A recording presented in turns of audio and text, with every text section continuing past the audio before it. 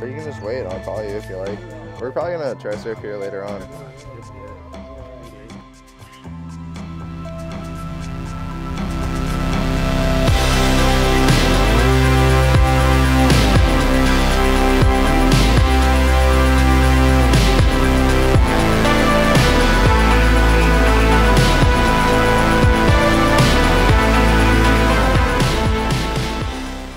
Most of the athletes are my friends that I grew up with here, and I look at them as family. They're, you know, I've known them since they were kids, and all of a sudden these young kids were setting a standard out of, out at Peahi, and that's when we realized that our equipment wasn't strong enough, and that we had to rewrite the, the science of that leash. Ian Walsh, in particular, he, he gets upset walking up the trail. It's, it's, it's obvious he's pissed.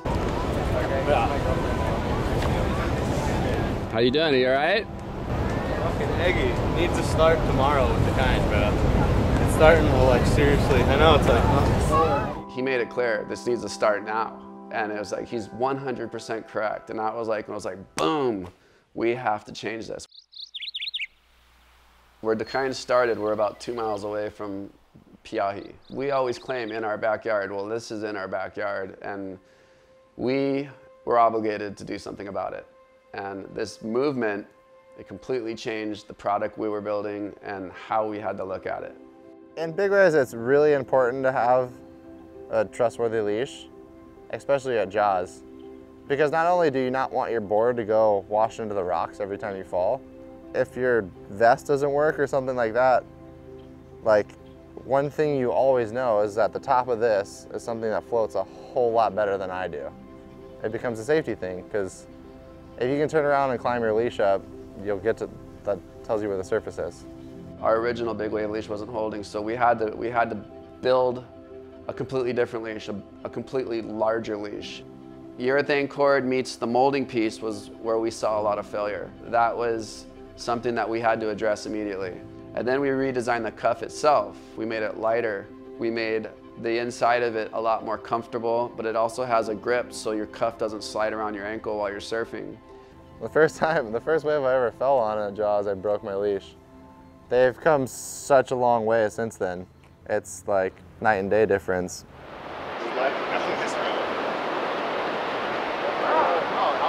Freaking sick out there. I'm like kind of tripping. This one's way bigger than Dages, yeah? No one said that. Watch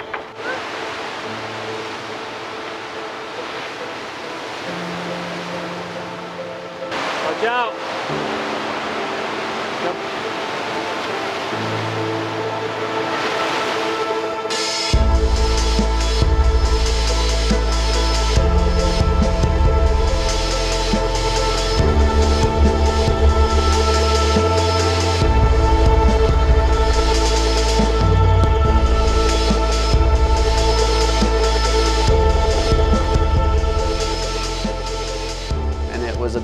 Three to four year continual redesign and I feel like we're still redesigning it. It's not a done deal and it never will be with the way our crew keeps pushing the limits. We got to keep up with them.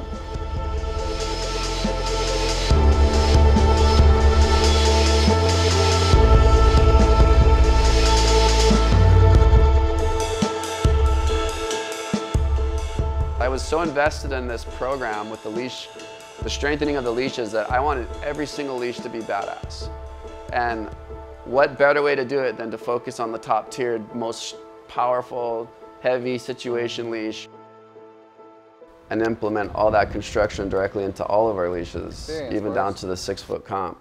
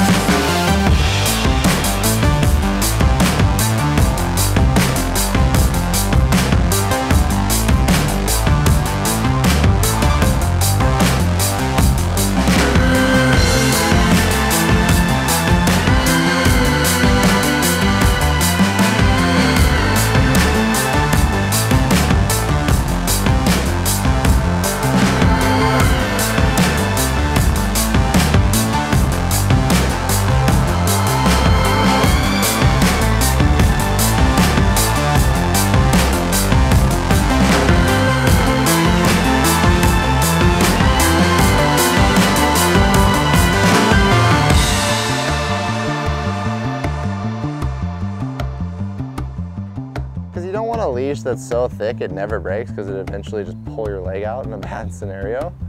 But right now the leashes are, I think, as strong as we need them. They're perfect right now.